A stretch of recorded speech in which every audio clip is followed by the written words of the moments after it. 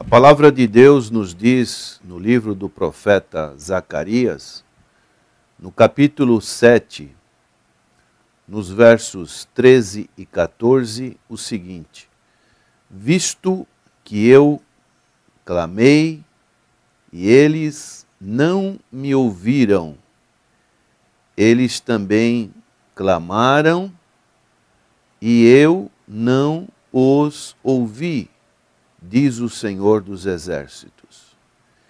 Espalhei-os com um turbilhão por entre todas as nações, que eles não conheceram, e a terra foi assolada atrás deles, de sorte que ninguém passava por ela, nem voltava, porque da terra desejável fizeram uma desolação.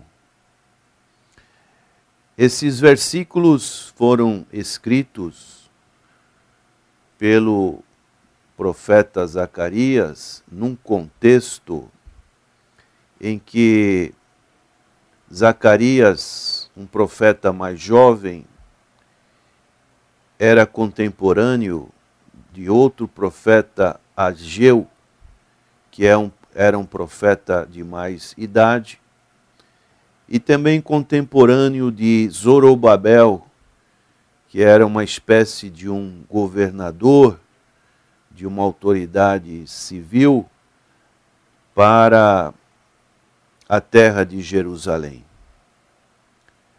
O Império Babilônico tinha caído. Agora quem reinava era o chamado medos e persas, de quem era o rei, o imperador, um homem chamado Dário, como encontramos no verso 1 deste capítulo. Neemias, o antecessor, já tinha reconstruído os muros de Jerusalém. O povo judeu estava espalhado pelo mundo todo como encontramos aqui no verso 14. Espalhei-os com um turbilhão por entre todas as nações, que eles não conheceram. Apenas um grupo pequeno estava ali residindo na Judéia, especialmente na cidade de Jerusalém. O templo ainda não tinha sido reconstruído e o povo achava-se abatido e desanimado. Então Deus levanta os profetas Zacarias e Ageu para animar o povo a empreender a grande tarefa e Deus está nesses dois, nesse capítulo 7 e no capítulo 8, profetizando a paz que vem da sua parte. O povo estava vivendo períodos de transtornos. Judá não tinha dado ouvidos à voz de Deus tinha sido espalhado por todas as nações. Não conheceu a Deus. Sua terra estava assolada e desolada. Então, diz nesse verso 13: Eu não os ouvi. O julgamento de Deus, o exílio babilônico, foi na proporção da sua desobediência. Os profetas tinham enfatizado repetidamente que atos formais religiosos de adoração eles são anulados pela desobediência à palavra de Deus.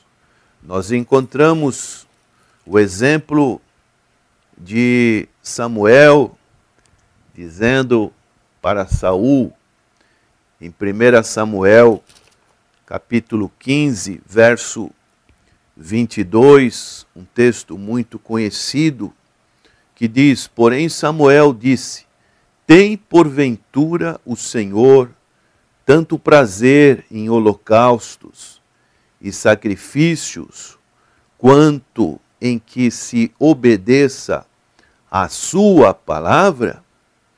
Eis que obedecer é melhor do que o sacrificar, e o atender melhor do que a gordura de carneiros, porque a rebelião é, com, é como o pecado de feitiçaria, e a obstinação é como a idolatria, e culto a ídolos no lar. Visto que rejeitaste a palavra do Senhor, ele também te rejeitou a ti, para que não sejas reis. Dessa maneira, precisamos aprender. Não adianta, muitas das vezes, estarmos prestando cultos a Deus se nós somos desobedientes à Sua palavra. Essas coisas, diz o apóstolo Paulo, se referindo ao Antigo Testamento, foram escritas como exemplos para todos nós que vivemos no período da graça, sim, mas não no período em que costumeiramente desobedecemos a voz de Deus, a palavra de Deus. Então, aqui é bem claro quando Deus diz através do profeta Zacarias: Eu não os ouvi, diz o Senhor dos Exércitos. Um outro texto que encontramos no Antigo Testamento está em Isaías, capítulo 1, verso 13, diz assim: Não continueis a trazer ofertas vãs, o incenso é para mim abominação, e também as festas da lua nova, os sábados e a convocação das congregações, não posso suportar iniquidade associada ao ajuntamento solene. As vossas festas da lua nova e as vossas solenidades, a minha alma as aborrece já me são pesadas. Estou cansado, cansado de as sofrer. Pelo que, quando estendeis as mãos, escondo de vós os olhos. Sim, quando multiplicais as vossas orações, não as ouço, porque as vossas mãos estão cheias de sangue. Dessa maneira, Precisamos ter este cuidado, porque neste verso seguinte de Zacarias, o verso 14, da terra desejável, o que aconteceu com Jerusalém? Fizeram uma desolação. A desobediência dos seus antepassados atraiu o julgamento divino. E Zacarias estava querendo que o, que o povo compreendesse que a desobediência contínua é retribuída com o julgamento. Então, também nós precisamos ficarmos alertas com relação à vida que prestamos a Deus de como é o nosso culto, para não atrair o julgamento de Deus para as nossas vidas. Mas nesse capítulo 7 de Zacarias e no capítulo 8, nós encontramos palavras que nos mostram o caminho para a paz, o caminho para a reconciliação, o caminho para uma comunhão ideal com Deus.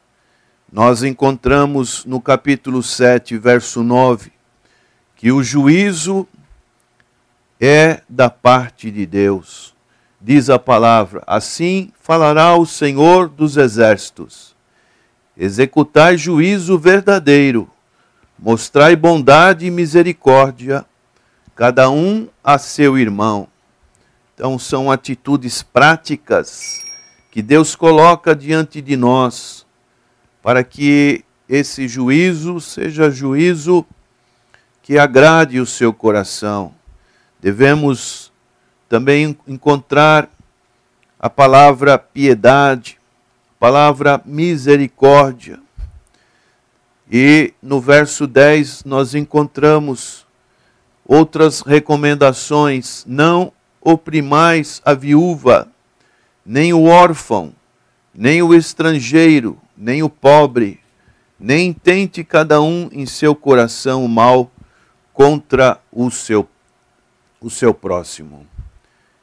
Então devemos observar esses preceitos, atender a voz de Deus, como está no verso 11 do capítulo 7 de Zacarias. Eles, porém, não quiseram atender e rebeldes me deram as costas e ensurdeceram os ouvidos para que não ouvissem. Sim, fizeram o seu coração duro como diamante, para que não ouvissem a lei, nem as palavras que o Senhor dos Exércitos enviara pelo seu Espírito, mediante os profetas que nos procederam. Daí veio a grande ira do Senhor dos Exércitos. Dessa maneira, são recomendações que nos vão falando da verdadeira paz que vem de Deus. No capítulo 8 de Zacarias, no verso 16, diz: Eis que as coisas que deveis fazer, falai a verdade, cada um com o seu próximo, executai juízo nas vossas portas segundo a verdade, em favor da paz, executar juízo de verdade e paz. Também ele disse: desviar do mal e não jurar falso. Diz no verso 17 do capítulo 8: Nenhum de vós pense mal no seu coração contra o seu próximo, nem ame o juramento falso falso, porque a todos todas estas coisas eu aborreço, diz o Senhor dos exércitos. E daí Zacarias vai nos mostrando o caminho da verdadeira paz que vem de Deus, uma paz que dá longevidade, uma paz que dá segurança, uma paz que dá compreensão, uma paz que está na fonte, e esta fonte encontramos no verso 3 do capítulo 8. Assim diz o Senhor: Voltarei para Sião e habitarei no meio de Jerusalém. Jerusalém chamar-se-á a cidade fiel e o monte do Senhor dos exércitos, Monte Santo. Então, esta é a fonte, a fonte que vem de Deus, a garantia da paz, como encontramos no verso 10, porque antes daqueles dias não havia salário para homens, nem os animais lhes davam ganho, não havia paz para o que entrava, nem para o que saía, por causa do inimigo porque incitei todos os homens, cada um contra o seu próximo. Dessa maneira, Deus garantia a paz, e dessa paz viriam os chamados benefícios, as recompensas. Eles viveriam é, na sua pátria. No verso 7, o Senhor diz: Assim diz o Senhor dos Exércitos Eis que salvarei o meu povo, tirando-o da terra do Oriente e da terra do Ocidente. Teriam o Senhor como seu Deus, eu os trarei e habitarão em Jerusalém. Eles serão o meu povo, e eu serei o seu Deus, em verdade e em justiça. Seriam prontos em fazer a vontade de Deus. No verso 9 diz assim: Diz o Senhor dos Exércitos: Sejam fortes as mãos de todos vós que nestes dias ouvis estas palavras da boca dos profetas, a saber, nos dias em que foram postos os fundamentos da casa do Senhor dos Exércitos, para que o templo fosse edificado. Então, nos diz, devemos fazer a vontade de Deus, devemos também praticar a justiça, como diz aqui no verso 10, porque antes daqueles dias não havia salário para homens, nem os animais lhes davam ganho. Não havia paz para o que entrava, nem para o que saía por causa do inimigo, porque eu, eu incitei todos os homens, cada um contra o seu próximo. Então deveria praticar a justiça, habitariam em segurança, eles seriam prósperos, seriam uma bênção e receberiam o bem de Deus por praticar essa justiça.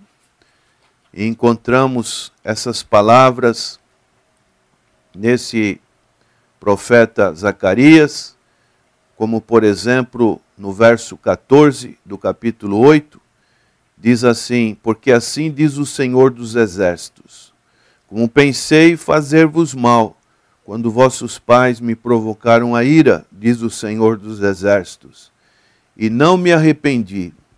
Assim pensei de novo em fazer bem a Jerusalém e à casa de Judá nestes dias. Não temais então recebemos o bem de Deus que vem da parte de Deus, recebemos a bênção de Deus, recebemos a segurança, recebemos a prosperidade quando queremos fazer e obedecer a Deus, Deus nos recompensa. Que você possa estar praticando um culto racional, um culto verdadeiro e também o seu coração esteja obediente à palavra do Senhor e com certeza o Senhor vai te ouvir, como encontramos no verso 13 do capítulo 7. Visto que eu clamei e eles não me ouviram, eles também clamaram e eu não os ouvi, diz o Senhor dos Exércitos. Que tenhamos como exemplo esse período na vida do povo de Israel e que possamos fazer diferentes para que realmente o Senhor possa nos ouvir e sarar a terra do nosso coração. Vamos orar. Senhor, nosso Deus, nosso eterno Pai, desejamos não a paz que vem deste mundo, uma paz falsa, mas suplicamos que estejamos caminhando para uma paz verdadeira, que excede a todo entendimento, uma paz que vem do Senhor. Ó Deus, abra o entendimento do seu povo para obedecer a tua vontade, a tua palavra, e assim correspondermos com a fidelidade para com o Senhor. Ajuda, ajuda-nos. É o que nós te pedimos, agradecidos, em nome do Senhor Jesus. Amém.